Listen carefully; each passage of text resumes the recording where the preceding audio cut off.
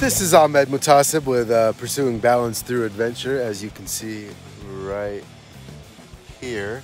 Uh, today we are helping uh, Mr. Roger here get rid of three quarters of the weight that's in his bag. So I'll tell you what, a PCT hiker goes about. it. So we just.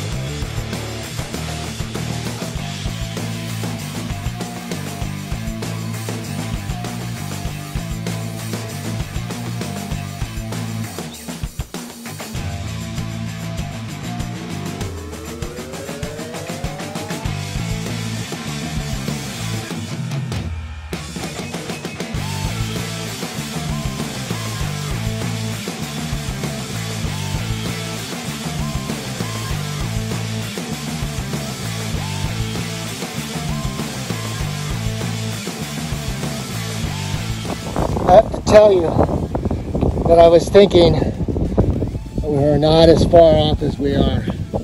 I'm disappointed because it's already been hard, and now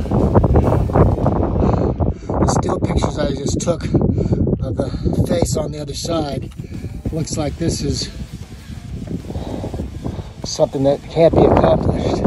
But I'm not giving up on that but it's been hard to get here, and it looks like the hard has not even begun. How beautiful this is, but how far we still have to go. Oh man, I was not expecting, not really. I was expecting a scramble, but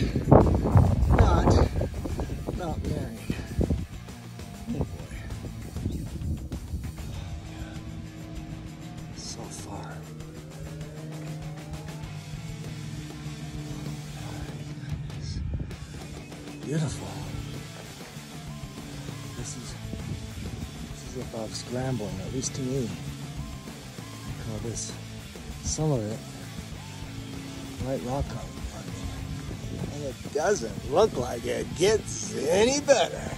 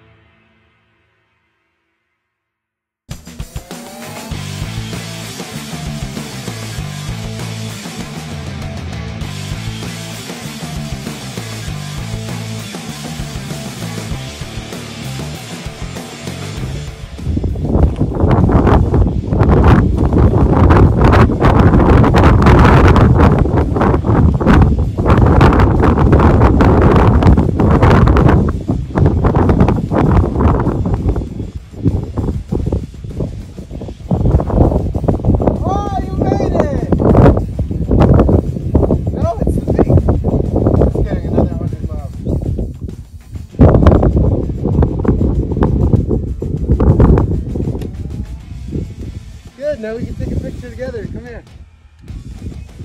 I'm so proud of you, man, honestly. I'm so proud of you, seriously. At first I was like, God damn it, man. I really like hanging out with Roger but I don't want to be like pressuring you to doing something that's like that you're not comfortable with. But you made it, man.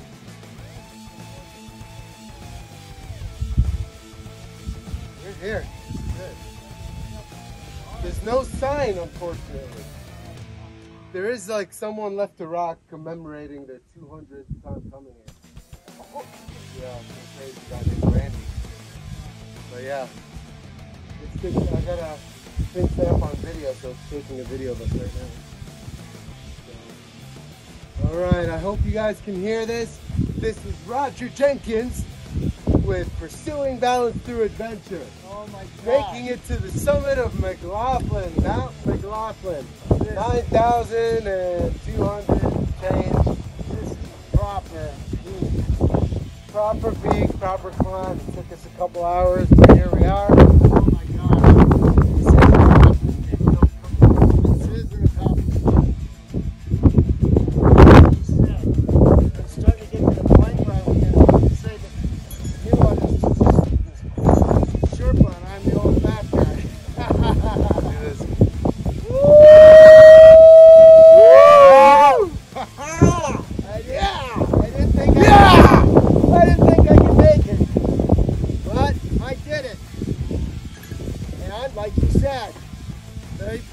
That was a hard one.